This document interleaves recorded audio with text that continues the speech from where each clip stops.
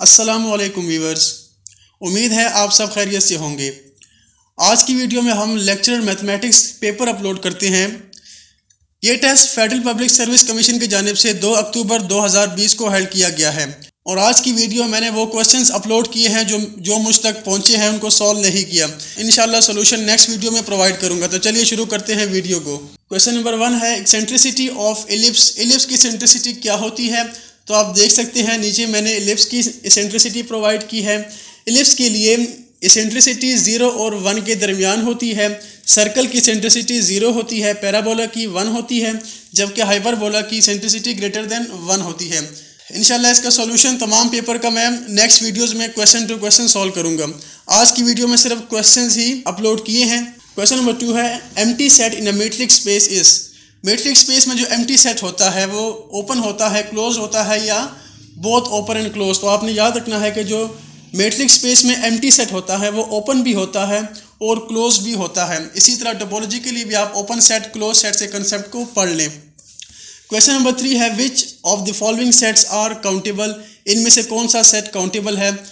तो व्यूवर्स यहाँ पर सेट ऑफ़ रैशनल नंबर्स क्यों जो सेट है वो काउंटेबल सेट है? बाकी तमाम सेट आर और ज़ीरो वन ये तमाम अनकाउंटेबल है। नेक्स्ट क्वेश्चन है polar coordinates of a point are given find Cartesian coordinates आपको पोलर कोऑर्डिनेट्स गिवन है। अब पोलर कोऑर्डिनेट्स के लिए फ़र्स्ट वैल्यू आर है, जबकि सेकंड वैल्यू थीटा है, यानी एंगल तो आपने फाइंड करना है कार्टिजियन कोऑर्डिनेट्स फार्मूला आपके सामने है X equal to R cos theta Y equal to R sine theta यहाँ पर वैल्यूज़ पुट करें, और इसके बाद एक्स और वाई की आप वैल्यूज़ निकाल लेंगे फार्मूला को यूज़ करते हुए। क्वेश्चन नंबर फाइव है the dimension of sine theta is sine theta dimensionless quantity है, इसकी कोई डायमेंशन नहीं होती थीटा एंगल है, और जब हम इसका साइन लेते हैं तो हमारे पास एक नंबर आता है तो ये डायमेंशन लेस क्वांटिटी है।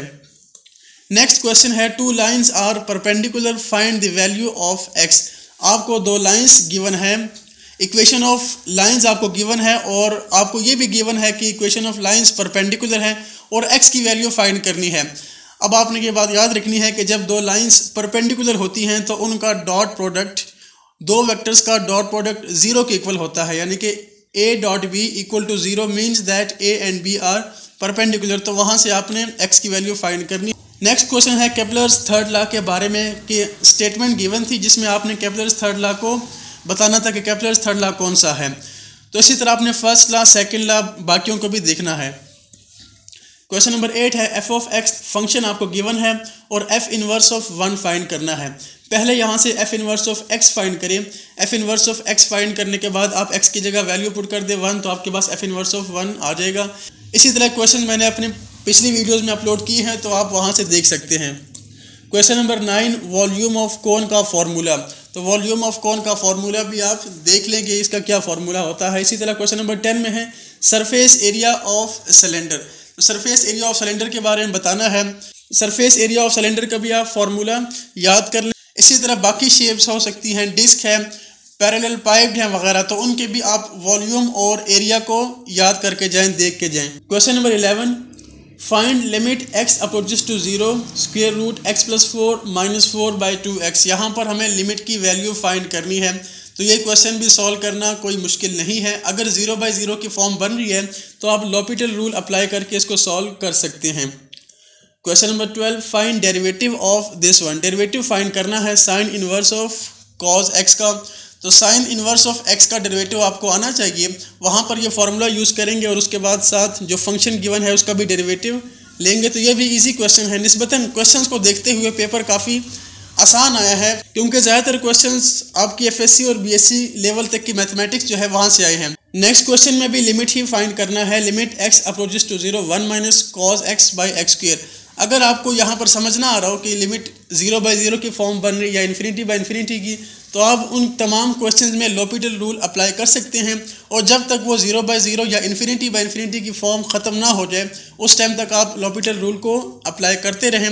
ये तमाम डेरिवेटिव आप एक दफ़ा दोबारा देख लें। क्वेश्चन नंबर फोर्टीन है find limit X approaches to zero one minus cos X by X square ये भी बहुत इजी क्वेश्चन है, यहाँ पर भी आपने लिमिट फाइंड करना है तो ये भी आपके लिए कोई मुश्किल नहीं है। क्वेश्चन नंबर फिफ्टीन है if a function is continuous then it be differentiable अगर फ़ंक्शन कॉन्टीन्यूस हो तो वो डिफ्रेंशिएबल होगा। अगर फ़ंक्शन कॉन्टीन्यूस हो तो वो डिफ्रेंशिएबल हो भी सकता है, नहीं भी हो सकता। यानी कि इसका जो आंसर है वो मे और मे नॉट आता है, कि डिफ्रेंशिएबल हो भी सकता है या नहीं भी हो सकता।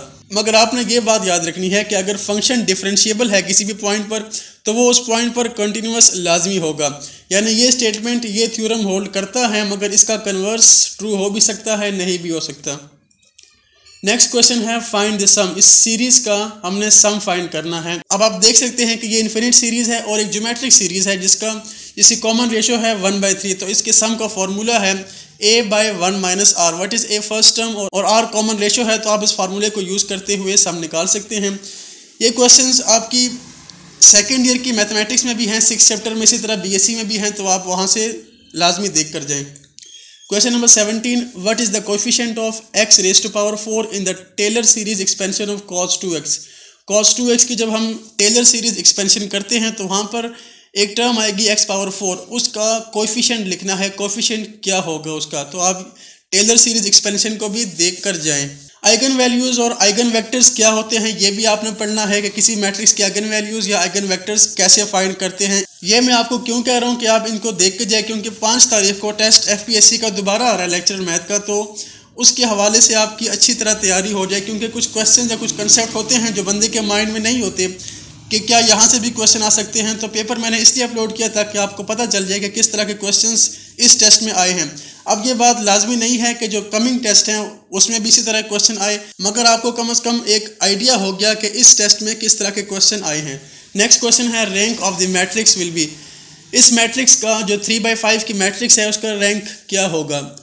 अब यहाँ पर जो रोज़ हैं, वो तीन हैं और कॉलम फाइव हैं। रैंक रोज़ पर डिपेंड करता है, यानी कि number of non zero rows जब हम मैट्रिक्स को रिड्यूस एचलॉन फॉर्म में कन्वर्ट कर दें तो उसके बाद जो नॉन ज़ीरो रोज़ बचती हैं, उसे हम रैंक बोलते हैं।